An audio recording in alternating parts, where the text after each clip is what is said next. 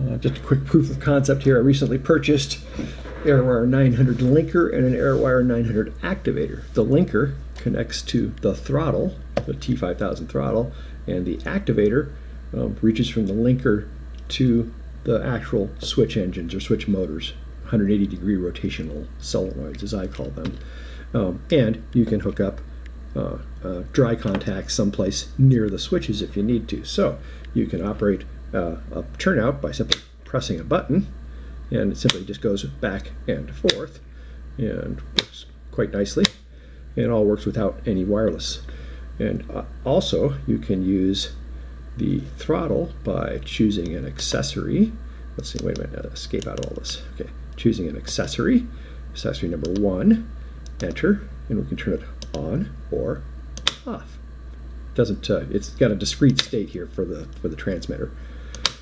And likewise, you can enter number two, enter.